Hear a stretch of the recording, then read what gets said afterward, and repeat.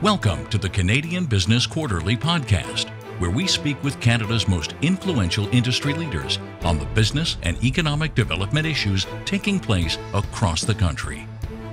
You can stay up to date with all of our content, including our publications, newsletters, and podcasts by visiting www.thecbq.ca and clicking on subscribe. Today's guest is Dr. George Adams, CEO of Ventripoint Diagnostics and scientist, serial entrepreneur, and financier. He has been instrumental in founding over 30 companies who have raised 100 million and has been a director of 10 venture capital funds and 10 startup companies. In 2007, he received the World Economic Foundation Technology Pioneer Award. Dr. Adams has 124 scientific publications and is a reviewer for major scientific journals, federal granting agencies, and centers of excellence. Dr. George Adams, thank you for being with us today. Thank you for having me. So, could you give us the overview of Ventripoint? Sure. Uh, Ventripoint is focused on a better way to look at your heart using ultrasound. So it was founded in 2005 in Seattle based on an invention out of the University of Washington, which was a n- new way of artificial intelligence, a way of analyzing conventional 2D ultrasound of the heart. Uh, we moved the company to Toronto a couple years ago and formed a new team around a, a, a great group of ultrasound experts headed by Desmond Herzon, who has 30 years experience in, in ultrasound and has brought a number of ultrasound machines to the market. Uh, we then, when the original invention was focused on the right ventricle, the right one chamber of the heart, we've now, uh, with Desmond's team, we have expanded that now to all four chambers of the heart, so we can do a whole heart analysis now. Um, and that product was approved by the U.S. FDA last spring to be shown to be equivalent to MRI.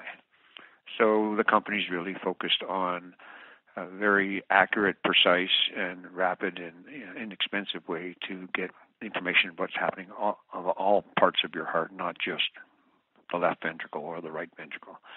So that's uh, that's our claim to fame. Okay, very good. Um, and so, what are the, the challenges that, that you're facing at the moment before you can you know continue to see successive growth moving forward? Well, we're in full commercialization mode now, so we have a marketing team. So the challenge is to build awareness within the cardiology community that it is now possible to get the information on all four chambers of the heart. Uh, every kind of heart condition uh, is sort of focused. You can die from right heart failure, you can die from left heart failure, you can die from atrial fibrillation of the left atrium, you can die from atrial fibrillation of the right atrium. So basically, it's a serial pump four chamber serial pump, and if any one of the chambers fails, then the whole pump fails. So um, they have not been able to get all the information about the heart easily. The only way to get that information is to put you in MRI for an hour and a half to two hours, and then spend another hour or more analyzing the MRI. And that's both inconvenient, super expensive, and so they don't do it. So they have, you know, we really have the the challenge now is to is to go to the conferences and go to the to the various uh, and go direct the sales force uh, to tell the doctors it's quite possible it's possible to get all this information and you can actually figure out what's wrong with all all the different parts of the heart. And in complex heart disease, you can have problems with the left side, problems with the right side. You can have multiple problems, and so um, this information should help them, or absolutely will help them uh, diagnose and monitor their patients. Uh, we have over two dozen scientific publications by major cardiology groups showing that we are equivalent to MRI and that the information is accurate. So it's really just a case of getting the word out. Okay, great. Um, and so, can you explain a, a, little bit more for people that aren't uh, entrenched in the industry about this breakthrough artificial intelligence technology? Well, we call it knowledge-based reconstruction, and it's uh, it's a very uh, it's patented technology, and we basically are able to take very sparse data, very small points uh, on the different views. So a standard 2D ultrasound examination of the heart would have 16 different slices or views that you would take through the heart at all different angles. And so you get a little piece of the heart in each one of these views. And it's really the artificial intelligence is taking a little bit of information from each of those views and putting it together in a three dimensional way. So you now have three dimensional information about the heart, its volume, its shape, its ejection fraction, uh, you know, how, how much blood it takes in, how much blood it pumps out every cycle, every beat. So um, yeah, the magic is that we can do that and, become, and it's equivalent to MRI. So nobody else has been able to do that. Uh, we don't have any competition in the marketplace. Uh, like I said, the only competition is MRI, and, and you just can't have put people in MRI every three months, which is the recommended guideline by the American Heart Association for how often you really should see somebody with a significant heart condition. All right. Okay. And and so for pediatrics who undergo MRI, um, they're often sedated, and the experience, I'm told, can be a little bit overwhelming for children and their families. Uh, how, how, does the Ventripoint system solve this? Right. I mean, it, you can't put a child, an infant, or uh, even a toddler, or even a you know a, a small child into an MRI for an hour and a half all the way in, totally claustrophobic without traumatizing them. So you obviously have to sedate them or anesthetize them. So it's been, you know, that just adds all this. You have a child with a heart problem, and now you've got to basically anesthetize them and put uh, for an hour or two hours, and that's a dangerous thing to do. So it's not only traumatic for the patient, traumatic for the family, but it's traumatic for the doctor, who has to explain to the doctor the the parents the, the risks of doing this, but it's the only way they can get a good look at the uh, heart. So they don't really, they, you know, so they selectively do it, but it's a dangerous thing to do. Uh, so that's the drama is just in the in the risk of it all. Um, so they don't again they don't do it. So the advantage of the Ventripoint system is that this we're using conventional 2D ultrasound. The child can be sitting in the mother's arms. It's just a little bit of gel on the chest we can, you know, depending on what chamber, you can usually just do two or three views per chamber to get a pretty accurate result of what you're looking. So if you're looking at somebody with a congenital heart disease, which is usually the right side of the heart, you can quickly do three or four scan, three or four views. It takes two or three minutes. Uh, with the with the child in the uh, in the mother's arms or in the father's arms, and uh, and then analyze it, and in 10, 15 minutes you can have an accurate answer of whether of what's exactly going on with this child's heart. Right side, left side doesn't matter.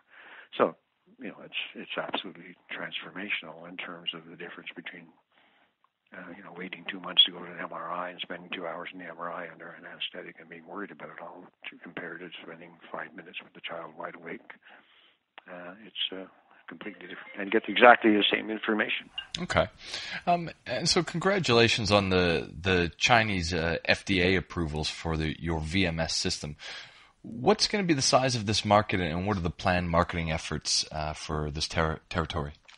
Yes, China has just happened. Uh, it's fantastic. There's 34,000 hospitals in China, 2,500 uh, tier one hospitals, all of which have major cardiac units because, in fact, the uh, hospital admission rate for cardiac uh, indications in uh, in China is 23 percent, and it's only about 14, 13, 14 percent in Canada or North America.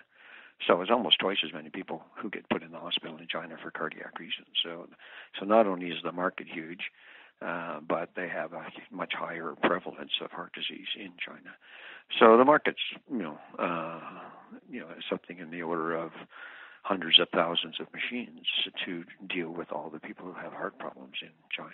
So the marketing, we have a partner, we have a joint venture partner in China uh, who has now developed a, a uh, total Chinese distribution uh, network, and they'll be doing a major launch of the product in the 10th of May at the new um, uh, Science City Center in uh, in China and all the major cardiologists will be there to talk about the need for our equipment in China. So it's uh, it will very quickly start uh, rolling out equipment. We have a factory in China which is fully operational and GMP certified by the Chinese FDA, and the equipment has been certified in China with uh, to be medical grade, hospital grade equipment. So they're ready to go.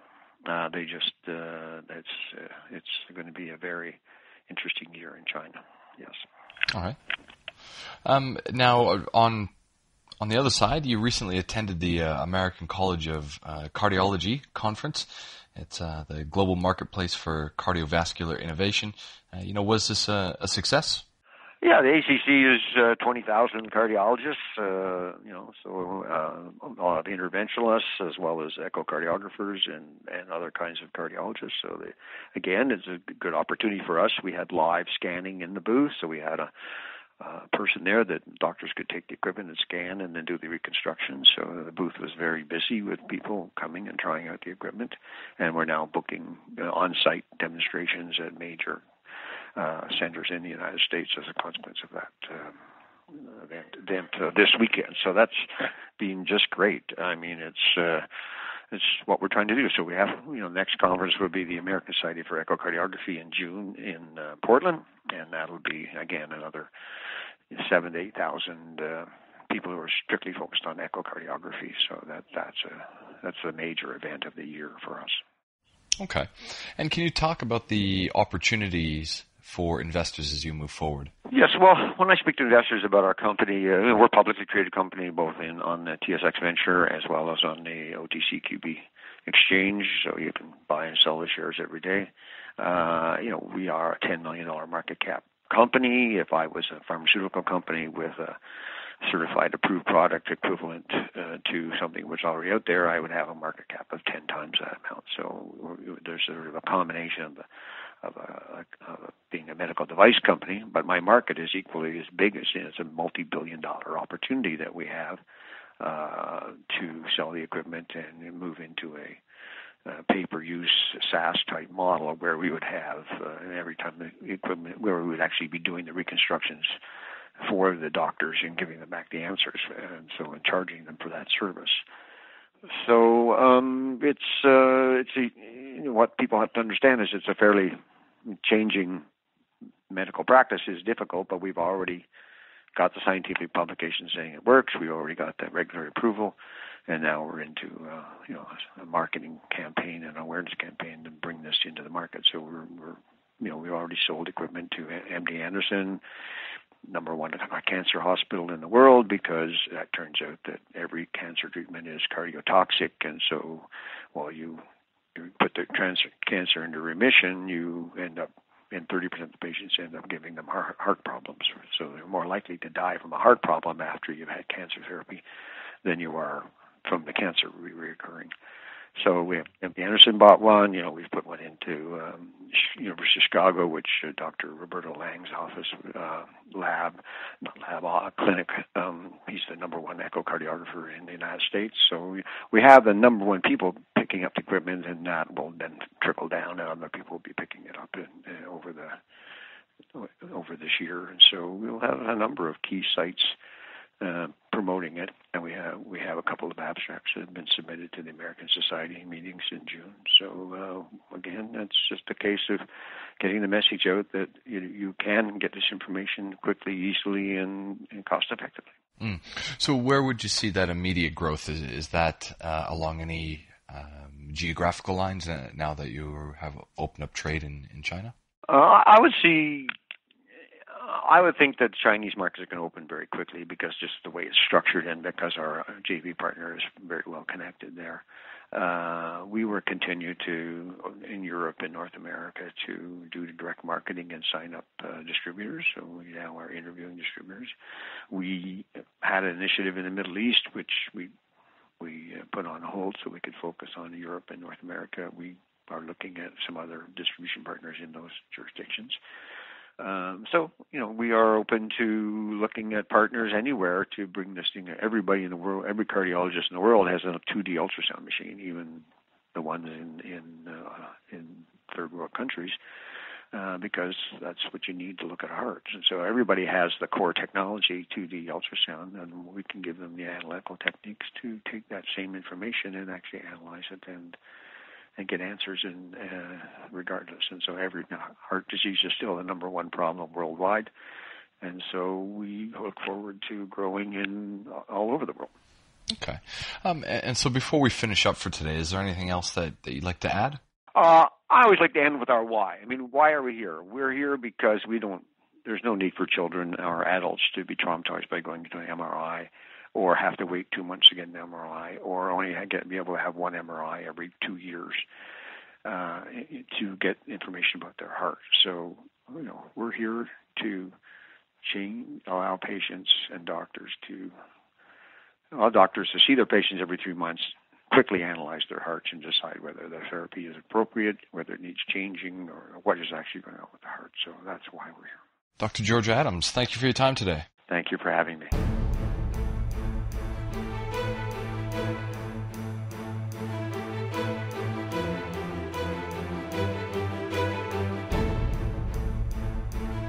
This has been a production of the Canadian Business Quarterly, a division of Romulus Rising Proprietary Limited.